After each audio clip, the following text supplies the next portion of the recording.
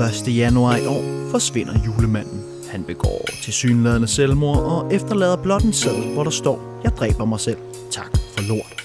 Da vi får færden af sagen, har Rensdyrspatruljen netop anmeldt det til det danske politi.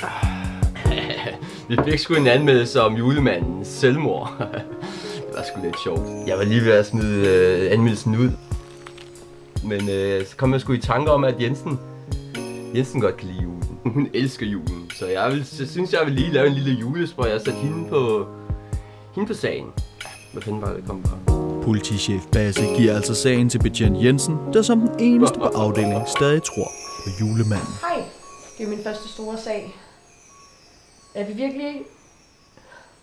Jeg vil virkelig gøre alt, hvad jeg kan for at opklare det her med julemanden. For nissernes skyld.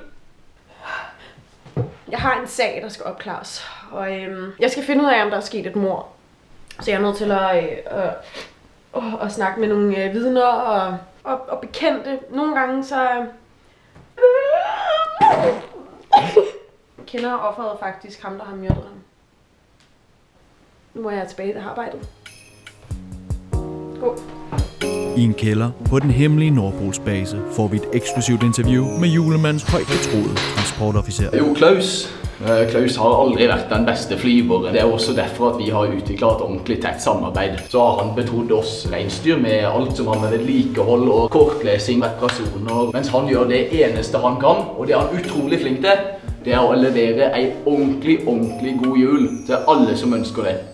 Men eh, nå har jeg faktisk en del ting jeg må gjøre med sledene, så hvis du har meg unnskyldt, så må jeg gå ut og fikse noe. Men eh, takk for praten. I mellemtiden har vi fået et tip om, at der sidder en sur nisse på loftet. Vi vælger at opsøge ham og udspørge ham om julemanden.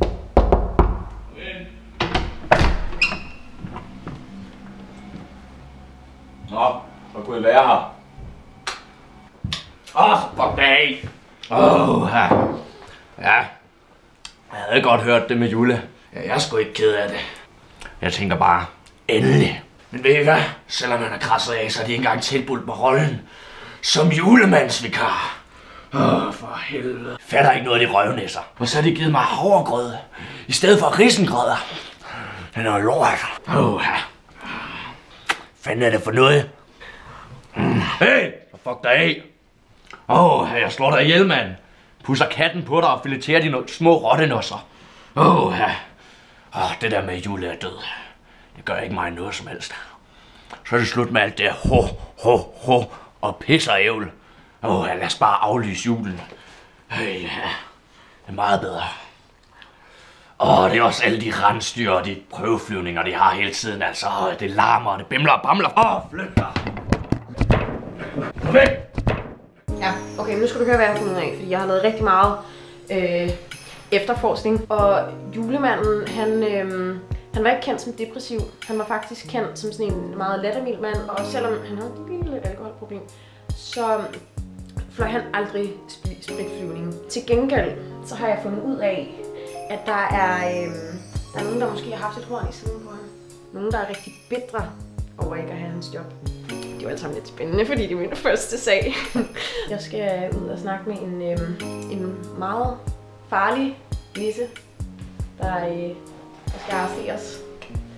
Så, okay. Han er mega farlig, så vær helt stille, okay? Bare følg med mig.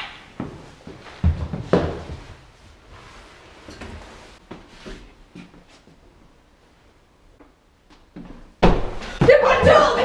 Læg dig ned! Læg dig ned på ryggen! Ned! Bare fordi Julian flækker hovedet af sig selv. Hænderne på ryggen! Hænderne på ryggen! Gør den, styr!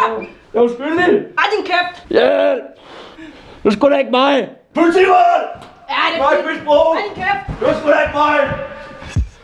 Det ikke mig.